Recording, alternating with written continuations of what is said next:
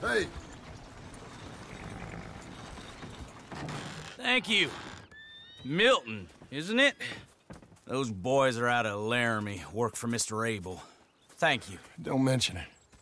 Listen, I ain't looking for no charity or nothing, but I was serious. You got work? We'll work. I can do anything. We got... We got robbed ourselves a few days back. We ain't got married hands here. You're married. Work harder than any one of them. I'm real honest, and my wife, even though she's got fancy thoughts, she'll work. Seem kind of desperate. What trouble you in? No trouble, sir. Aside from her brother, he tricked us and robbed her of her inheritance.